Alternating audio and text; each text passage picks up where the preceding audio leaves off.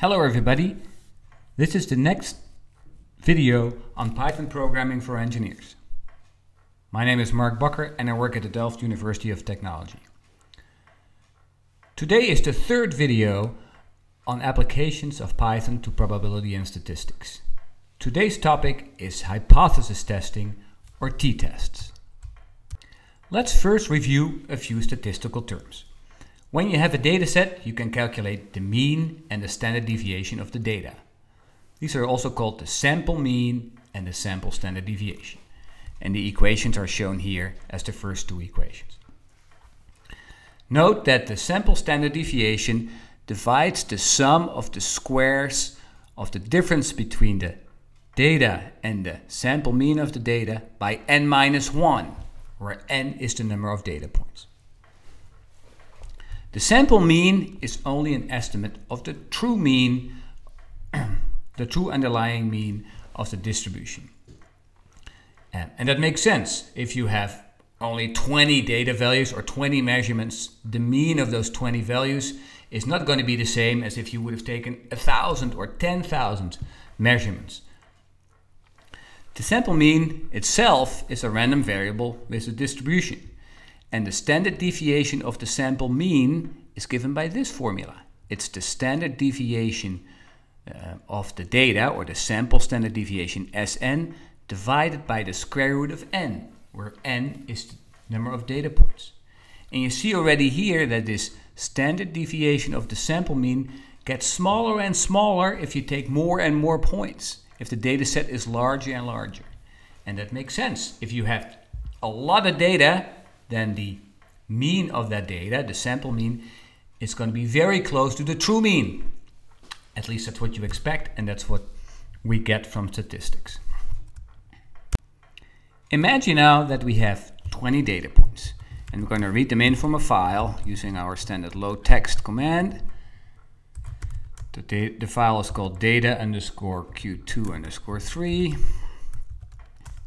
And we can calculate the mean of that data we can calculate the standard deviation of that data. And remember, we want to divide through by n minus 1.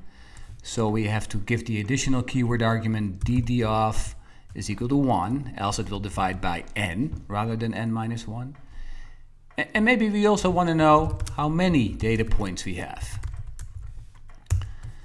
It turns out that the data we just read in has 20 values. The sample mean is 104 and the sample standard deviation is 34. Let's look at the data with a box plot. Box plot of the data shows us the figure and we see indeed here that the mean is around 104 105. This is the interquartile range, so 50% of the data fits within that blue box, and the total data goes from 40 to 160. We are now asked to determine whether it would be possible that the true underlying mean of the data is 90, which runs about right here. Right?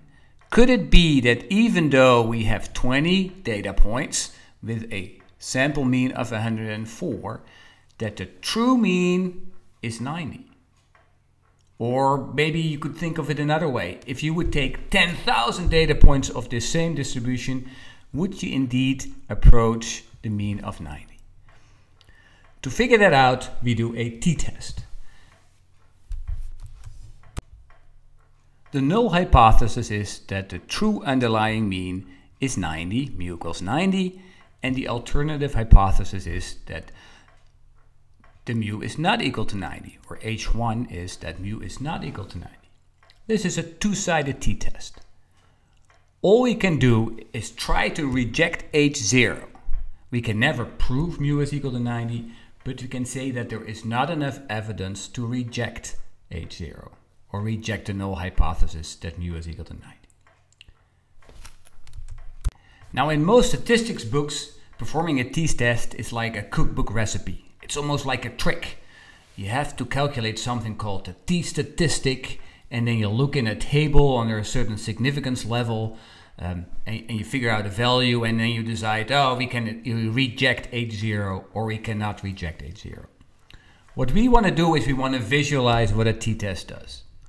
To do a t-test, we we draw a t-distribution around mu equals 90, our null hypothesis, using the standard deviation of the sample mean that we have right here. Um, once we do that, we can draw the upper and lower limits of our interval. If we want to have a 5% significance level, that means we draw the 95% interval around the mean, and we figure out if the sample mean lies within that interval or outside. If it lies outside, we can reject H0. If it lies, it lies inside, there is not enough evidence to reject H0. Well, let's do that. We first imported the distribution from scipy.stats. From scipy.stats, import t. We define what our mu is. Our mu is 90. That's our hypothesis. Uh, we calculate the standard deviation of the sample mean. Let's call it sigma. It's the STD of the data, but we want to divide by n minus 1. So ddof is equal to 1 and this is the standard deviation of the sample mean. So we have to divide by the square root of the number of data points, which is 20. Um, and then we have to uh, draw the probability density function. Um, and we have to define over what range. So the mean is around 90. So let's have x go from uh, linspace from say 40 or 50 maybe to 130. So 90 minus 40 gives 50 and 90 plus 40 gives 130 and we do 100 points. And y is then t dot probability density function. The first argument is x. The second argument is the number of degrees of freedom. The number of degrees of freedom is equal to the number of data points minus 1. In this case, that's net 19. The location is the mean, that's mu, and the scale is equal to the standard deviation of the t-distribution, which is the standard deviation of the sample mean, which we called sig. And then we plot x versus y. And there's our graph. You notice that the peak of the graph is indeed at 90 at the mean, and we get this distribution. Uh, next, we want to draw the 95% interval around the mean. To calculate the left and the right boundary, so the left boundary is at 2.5% and the right boundary is at 97.5%, we use the PPF function. So x05, let's call it, is t dot PPF of the um, percentile is 0.025, the 2.5% one, and the number of degrees of freedom of this t distribution is still 19. And the x97.5 uh, also, this is not 05, is 025. Sorry about that. Better name. And the X975 is the T.ppf percentile point function of 0.975, again with 19 degrees of freedom. And we draw vertical lines at those two boundaries. We have the XV line uh, at x0 to 5, and we make the color equal to red and then we draw a line at x975, the 97.5 uh, interval, or percentile, sorry, is equal also to red.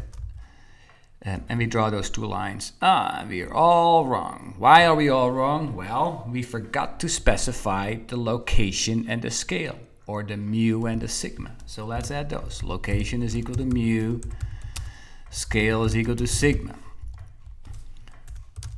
Location is equal to mu, scale is equal to sigma. That's much better, right?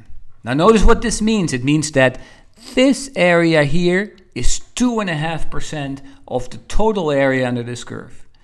And also this area is also 2.5%. Together they are 5%. And we're testing for a 5% significant level. Now our t-test is whether the mean we calculate, so I'm going to scroll all the way back up, the mean we calculated was 104.74. That was the mean of the data. The question now is, does that mean lie within this confidence interval? If it does, then we don't have any evidence to reject H0 that the mean is the true mean is equal to 90. If it is outside, then it is very unlikely with a significance level of 5% that the mean the true mean is indeed 90. So let's add that line. Uh, AXV line. We want to do it at the mean of the data. We make the color equal to, for example, blue or black, okay. And let make, let's make the line width equal to 2 so we get a little heavier line. See where that line falls. There we go. Ah, the line just falls inside the 95% significance level. So what we can conclude from this is that we cannot reject H0. Yeah, so from a more practical standpoint, that means that uh, it is pretty likely the true mean might actually be equal to 90. That was all I got for you today. I hope to see you next time.